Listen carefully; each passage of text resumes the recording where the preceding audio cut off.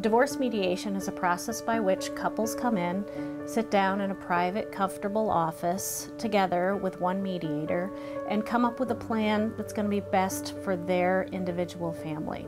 We cover three main areas parenting, finances, and the equitable distribution of all assets and liabilities, and then support issues, so child support and spousal support. One of the greatest advantages of mediation is it gives the couple the power and control to make the life decisions that are most important to them.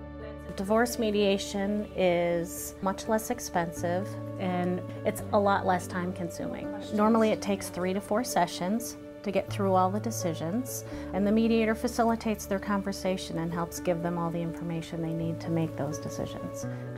My background and graduate degree is in counseling, so I understand that you're going to have good days and you're going to have bad days. I'm a neutral third party. I'm I think what differentiates me from other mediators is the fact that I have been through this myself. I know the stress, I know how hard it is.